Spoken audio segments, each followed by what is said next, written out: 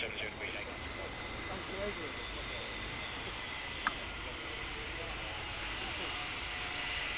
At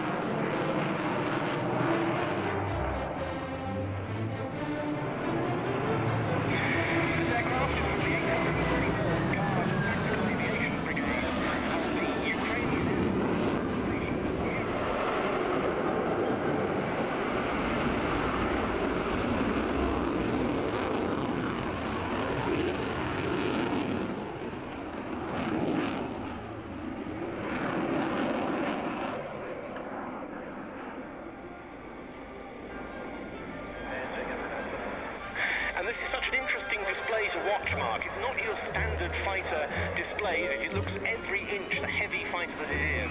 Yeah, this is an absolutely enormous aircraft.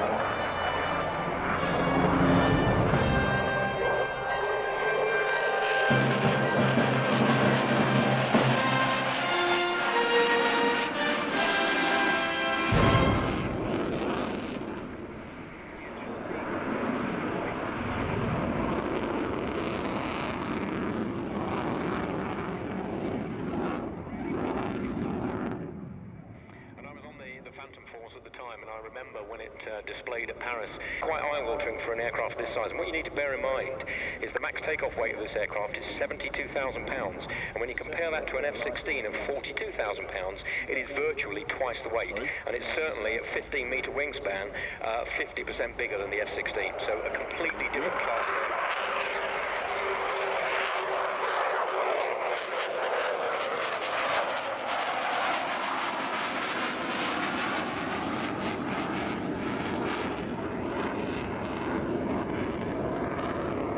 One thing the Su-27 did do was to introduce the controls for the first time on a production Soviet fighter.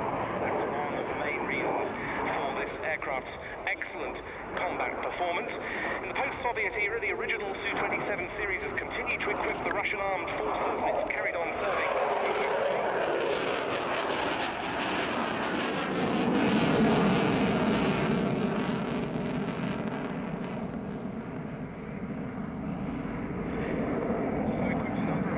Soviet several export customers, but the design has continued to be developed for Russia and for overseas markets, and some of the latest derivatives incorporate thrust vectoring for even greater agility.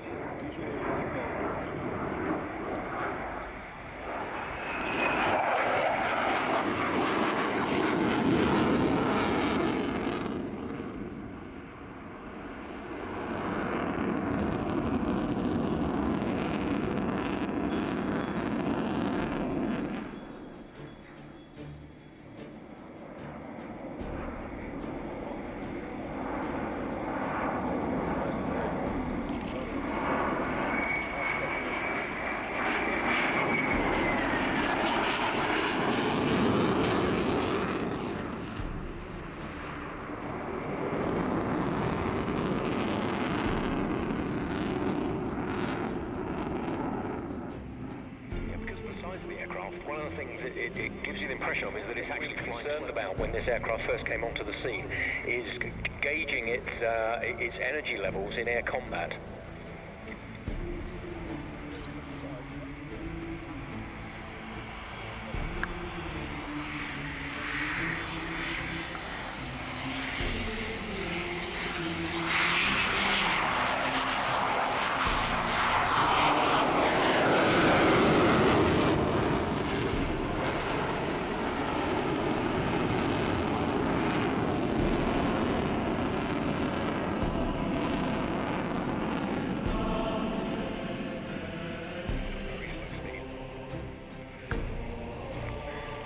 Yes, one of the maneuvers that Soviet test pilots amazed audiences with, with first the MiG-29 and then the Su-27 at Western displays, was the tail slide. We saw it in the West for the first time, would you believe, 30 years ago with the MiG-29s at Farnborough.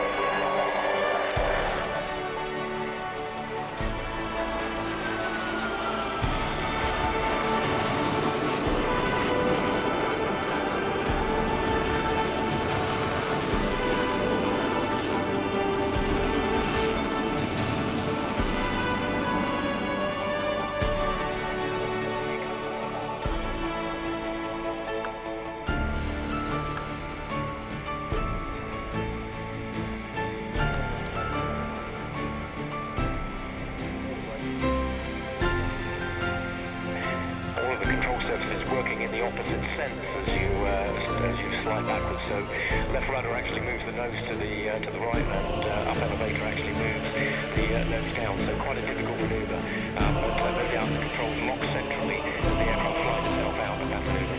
The engine's working incredibly hard to some hundreds of metres, and they are in commit despite the air wanting to go in the opposite direction. It's still not something I've ever seen performed by a conventional